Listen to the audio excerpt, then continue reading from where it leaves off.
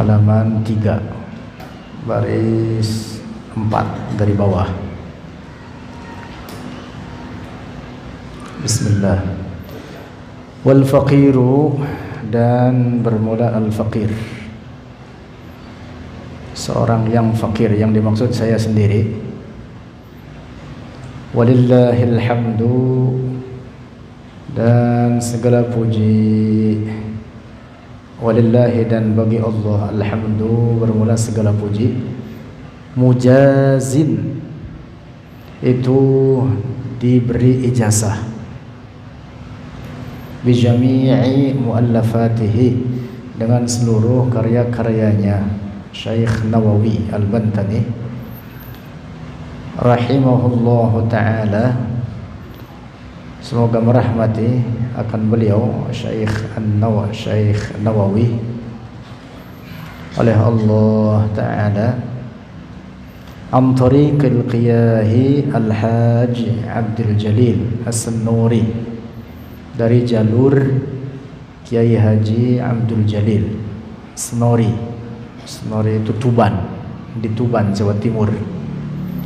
Wahwa dan bermula beliau Kiai Abdul Jalil an abihi dari ayahnya Al Kiai Al Haj Abdul Fadl As-Senori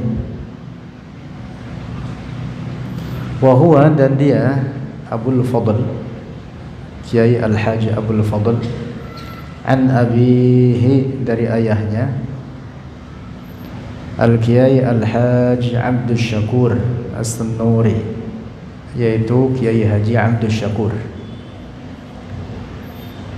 Senori wahua dan dia Kiai Haji Abdul Syakur tilmizu al-syekhi al-allamati Nawawi. Rahimahullah. Itu murid Syekh Al-Allama seorang yang alim dari seorang yang alim Syekh Nawawi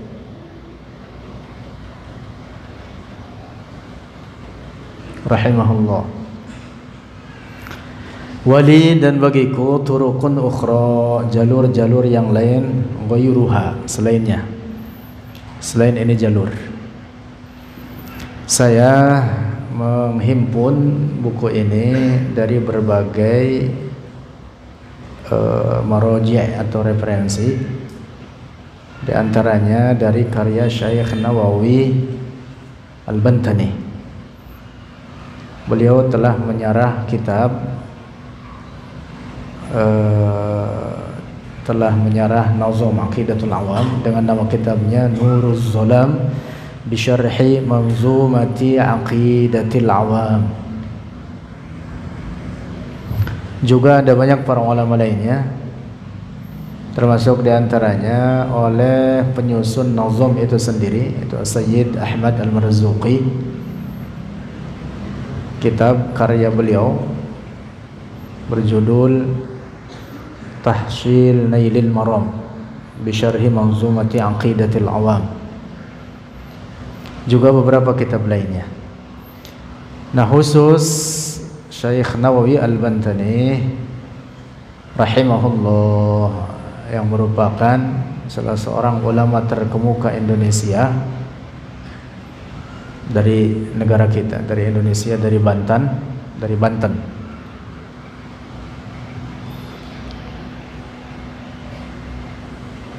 Ada banyak karya yang telah beliau tulis saya mendapatkan ijazah seluruh sanad uh, seluruh karya-karyanya tersebut dari banyak jalur. Nah, termasuk dalam hal ini Nurul Zolam Syarah Qidatul Awam Salah satunya adalah dari jalur Kiai Haji Abdul Jalil Nah Kiai Haji Abdul Jalil dari ayahnya namanya Kiai Abdul Fadl Kiai Abdul Fadl ini masyhur, populer nama beliau bagi para santri, para pelajar.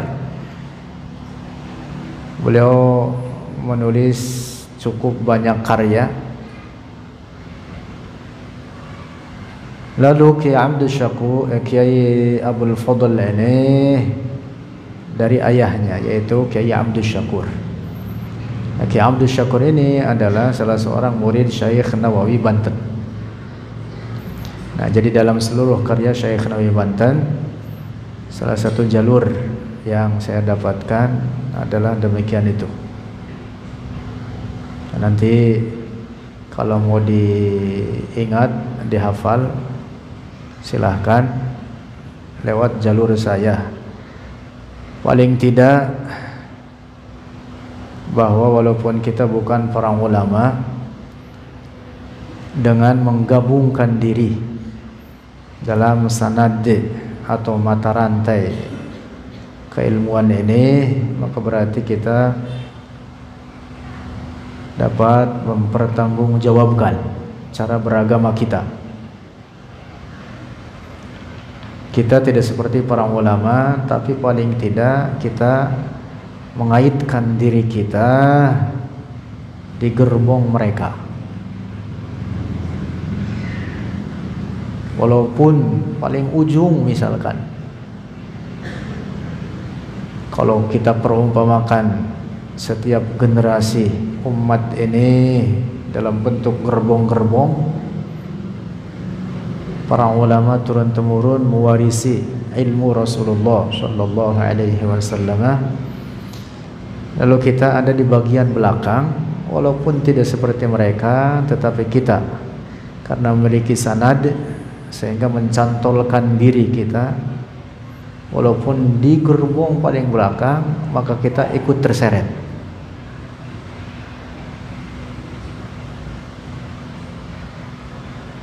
menjadi kemuliaan bagi kita untuk ikut bersama para ulama ada di rangkaian sanad mereka walaupun kita tidak seperti mereka lanjut وقد جاء في سبب تأليف هذه المنظومة الشريفة وقد جاء dan benar-benar telah datang fi sababi dalam sebab ta'lifi uh, penyusunan. Hadhil manzumati ini nazam asy-syarifati yang mulia. Nazam aqidatul awam ini. Anna sahibal manzumati sesungguhnya pemilik nazam asy-syaikh al-faqih yaitu eh, Syekh Al-Faqih An-Nabi An-Nabiha An-Nabi artinya yang seorang yang cerdas Al-Allam atau seorang yang alim Al-Syekh yaitu Syekh yaitu Syekh Abdul Fawzi Ahmad bin Muhammad bin Ramadan Al-Hasaniyah Al-Masyhur yang masyhur atau populer. Bismi Ahmad Bismi Ahmad Al-Marzuqi. Dengan nama Ahmad Al-Marzuqi. Nisbatan. Dinisbatkan atau disandarkan ila salafihi kepada salafnya. Maksudnya moyang-moyangnya. Al-arifi billahi asy-syekh مرزوق الكفافي الشيخ مرزوق الكفافي من رجال المذهب المالكي dari para pemuka madhab maliki al-mubrizina yang uh, terkemuka mereka Ro'a telah melihat oleh Sayyid Ahmad Al-Marzuqi An-Nabiy akan Nabi sallallahu alaihi wasallam fi manamihi dalam tidurnya. Lailata uh, akhir lailatil jumu'ati akhir malam Jumat. As-sadis min Rajab tahun uh, maaf tanggal 6 bulan Rajab. Kita bulan Rajab sekarang ini tanggal berapa nih? Malam tanggal 15 ya. tahun 1258 Hijriah wa ashabahu dan para sahabatnya para sahabatnya Rasulullah sallallahu alaihi wasallam waqifina hanya berdiri mereka hawlahu di sekelilingnya Rasulullah sallallahu alaihi wasallam Waqala dan berkata lahu baginya Sayyid Ahmad Al-Marzuqi. Rasulullah oleh Rasulullah sallallahu alaihi wasallam Iqra. Bacalah oleh engkau. Manzumat Tauhidi akan nazam tauhid.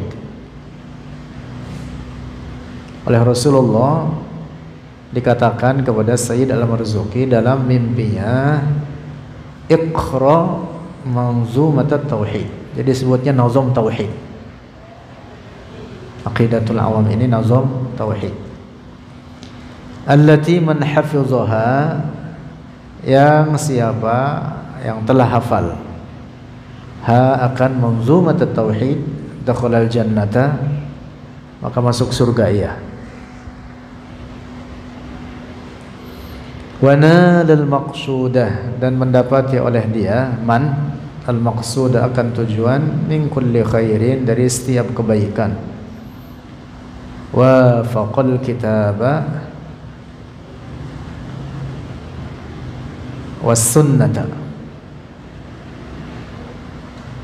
Sesuai ia atau sejalan ia akan Alkitab dan Al-Quran. Al-Kitab yang dimaksud Al-Quran was sunnata dan sunnah Rasulullah.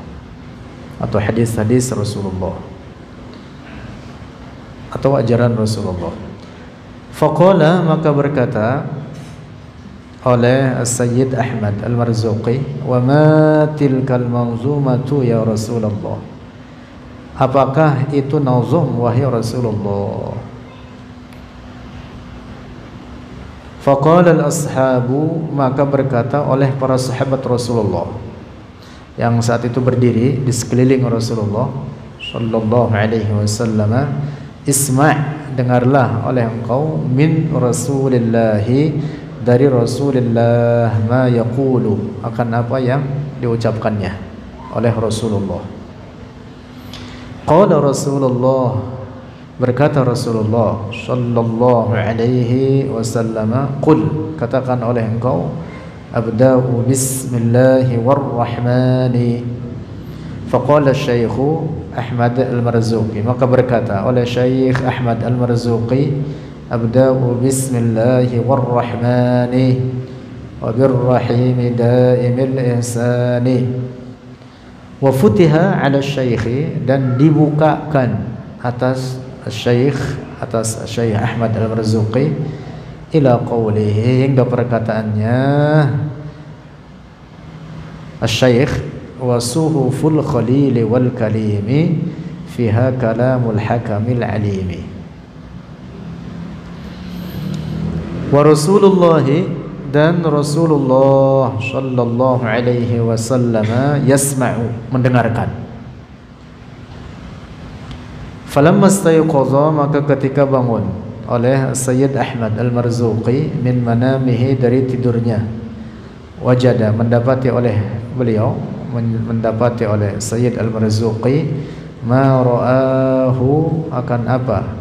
Yang ia melihatnya fi manamihi dalam tidurnya Sayyid Al-Marzuqi mahfuzun terpelihara indahu bagi dirinya an zahri qalbin di luar kepala.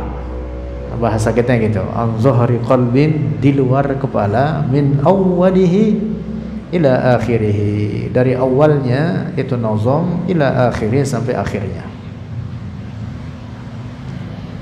Saya ulang lagi. Jadi kisahnya As-Sayyid Al-Marzuqi rahimahullah seorang ulama terkemuka di kalangan madhab maliki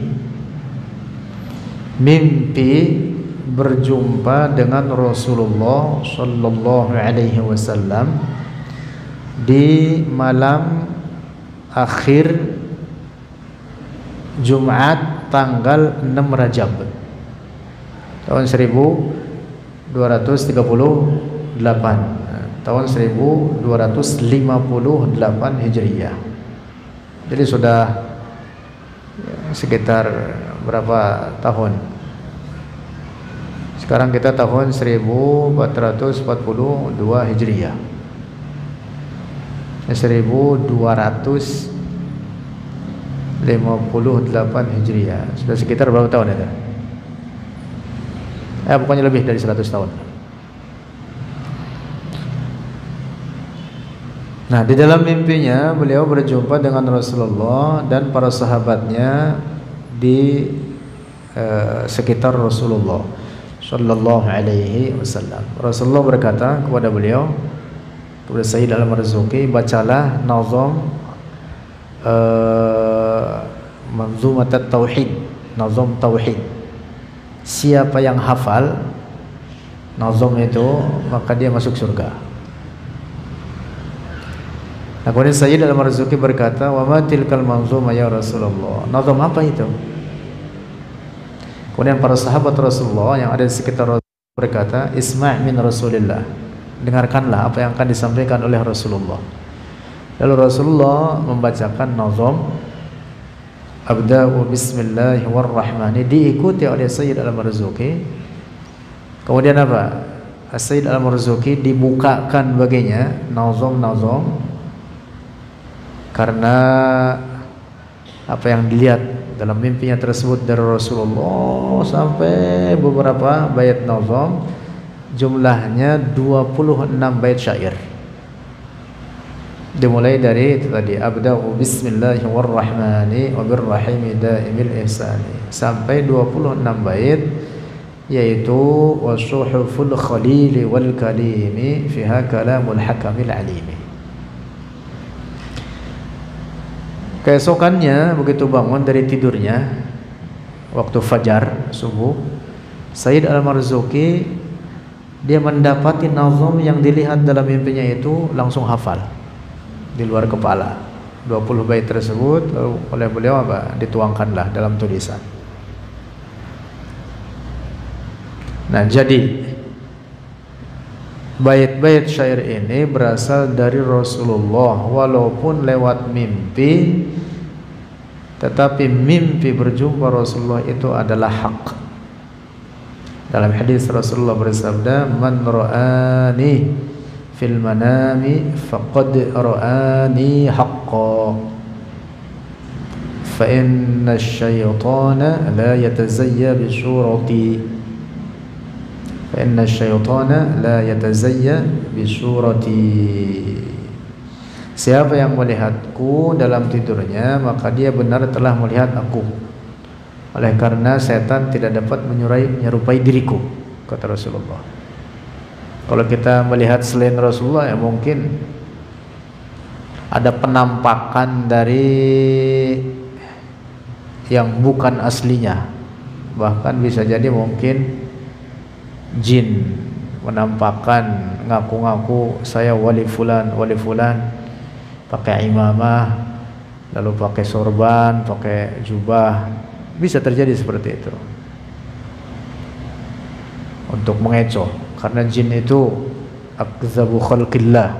Dalam hadis disebutkan jin itu paling lihai membuat kedustaan tipu muslihatnya itu sangat licin. Nah, kecuali Rasulullah maka beliau tidak dapat diserupai oleh jin. Nah, maka itulah Rasulullah menyebutkan siapa yang melihat diriku dalam mimpinya maka ia benar telah melihat diriku. Dan itu salah satu bukti bahwa orang tersebut dimuliakan oleh Allah karena tidak setiap orang uh, mendapatkan kemuliaan untuk bisa bermimpi berjumpa dengan Rasulullah sallallahu alaihi wasallam. Lanjut. Summa lamma kanat lailatul jumu'ati Kemudian ketika datang hari Jumat atau malam Jumat As-samin wal ashrin min Dzil Qa'dati dari bulan Dzil Qa'dah. Di tahun yang sama itu 1258 Hijriah. Akramallahu memuliakan oleh Allah Subhanahu wa taala Asy-Syaikh Ahmad Al-Marzuqiyah akan Syekh Ahmad Al-Marzuqi bit tasyarrufi dengan karunia bi ru'yati tal'ati Rasulillah dengan melihat kedatangan Rasulullah sallallahu alaihi wasallam al-bahiyyati al-bahiyyati yang agung. Marratan ukhra akan kali yang lain.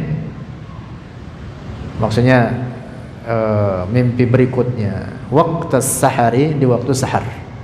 Di waktu sahur itu sebelum subuh. Mimpi lagi. Berjumpa dengan Rasulullah bulan Zulqa'dah. Berarti selangnya berapa lama itu? Dari bulan Rajab. Rajab Syaban Ramadan Syawal Zulqa'dah.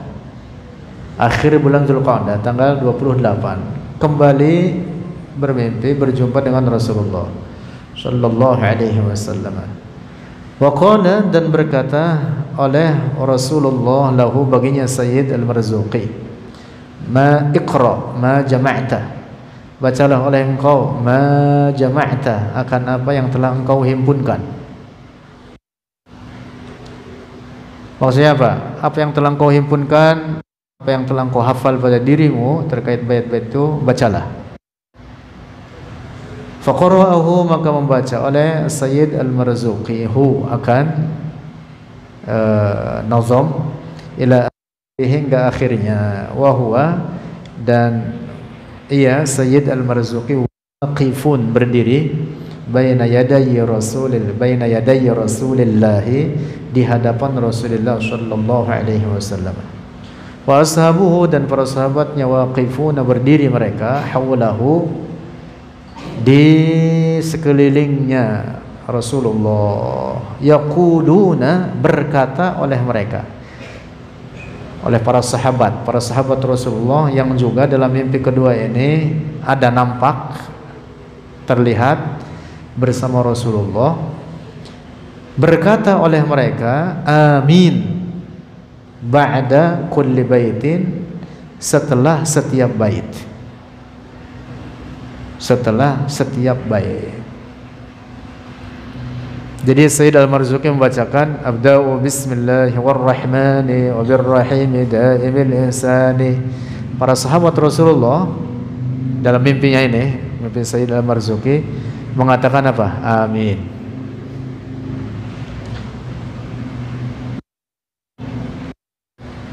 Kemudian apa?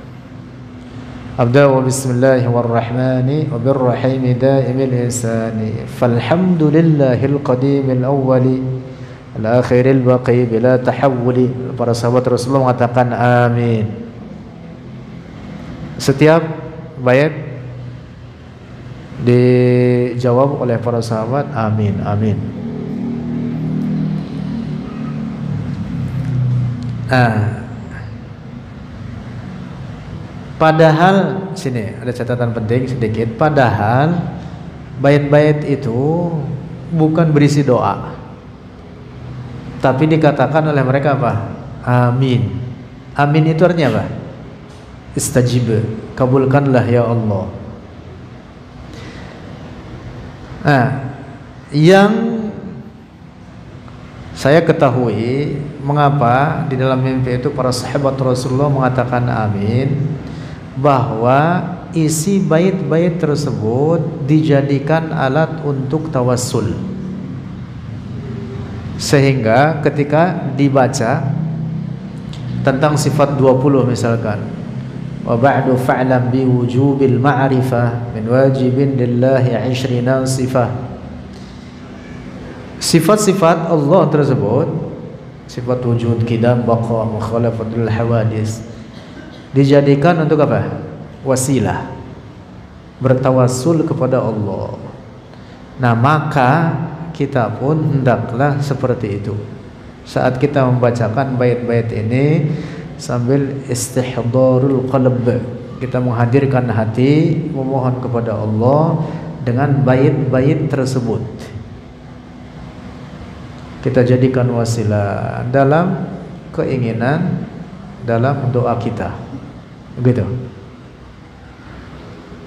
Oleh karena di awal pertemuan saya sampaikan bahwa sesungguhnya Nazam Aqidatul Awam ini di dalamnya adalah penyebutan sifat-sifat Allah.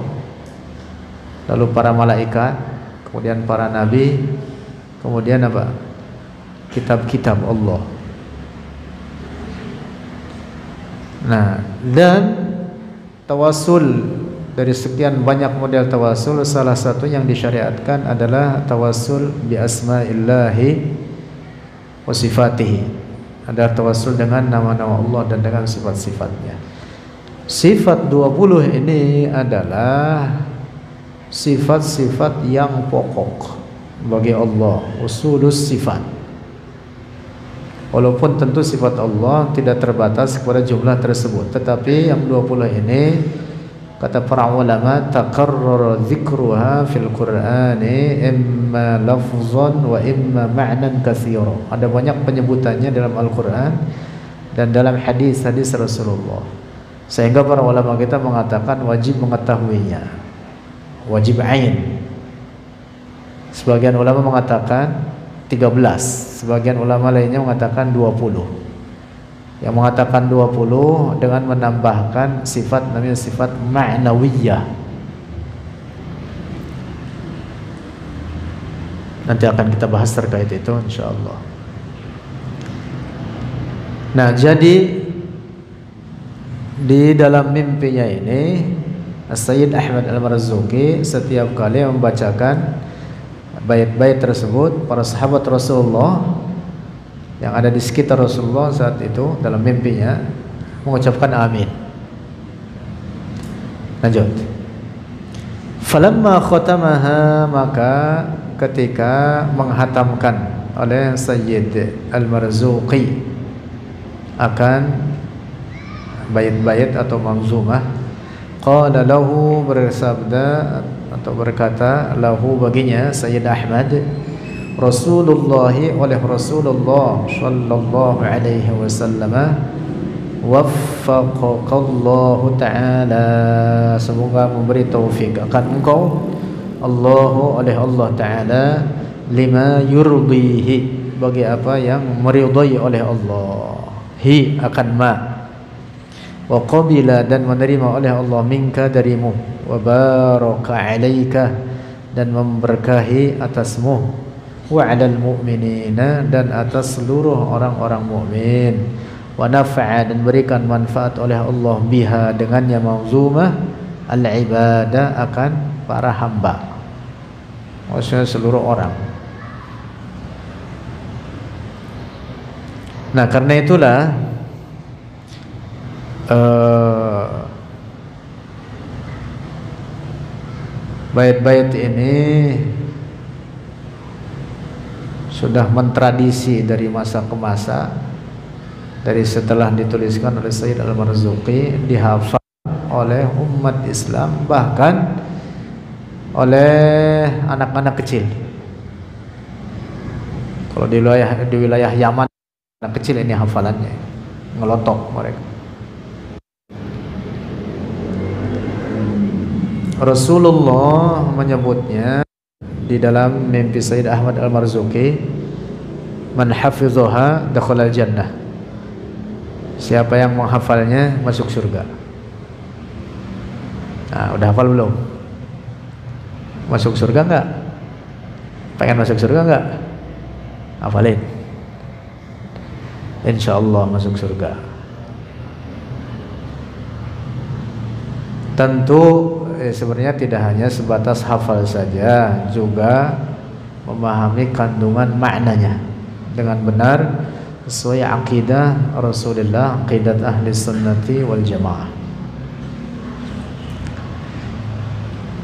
Summa kemudian su'ilan nazimu diminta akan penazam yaitu Sayyid Ahmad Al-Marzuki diminta ba'da tila ba'da tila'in nasi 'alaiha setelah melihat oleh orang-orang 'alaiha atasnya manzumah fajaba su'alahu maka menjawab oleh Sayyid Al-Marzuqi soal akan permintaan mereka.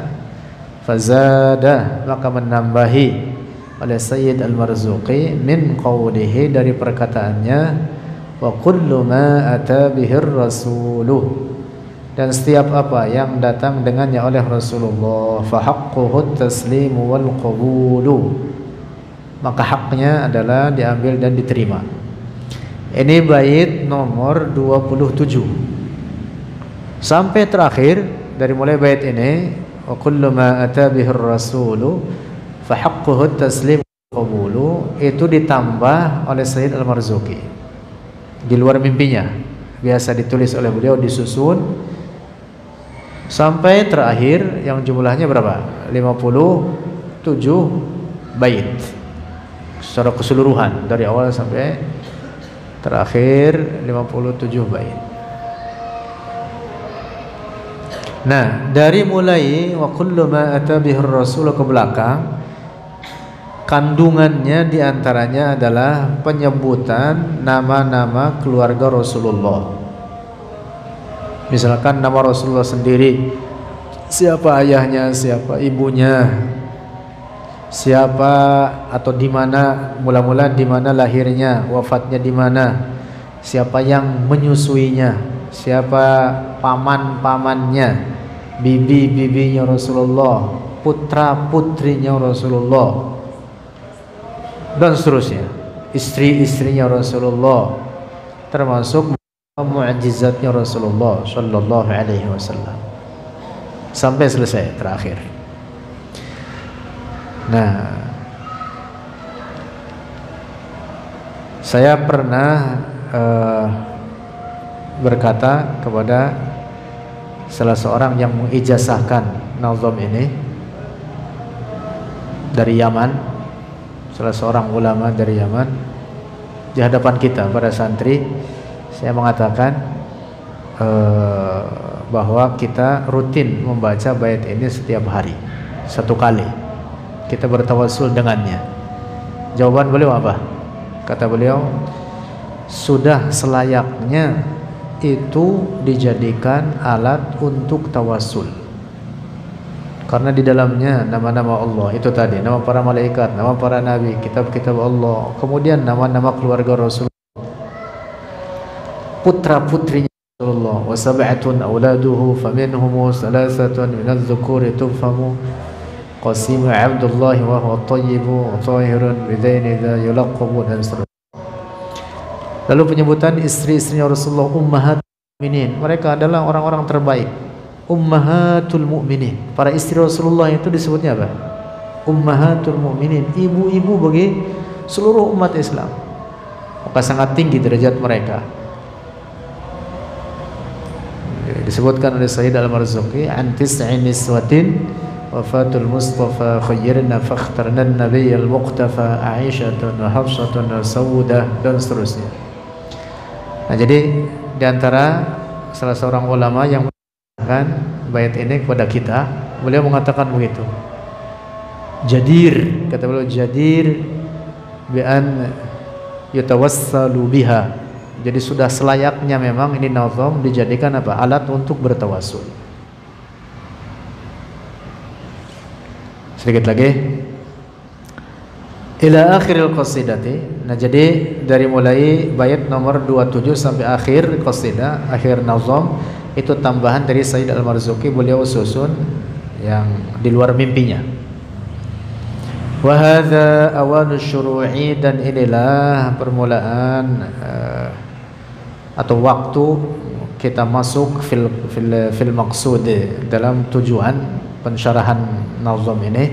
Faqul maka berkata olehku qala al muallif rahimahullahu taala abda'u bismillahi warrahmani wabirrahimi daimil ihsani. Wallahu a'lam bissawab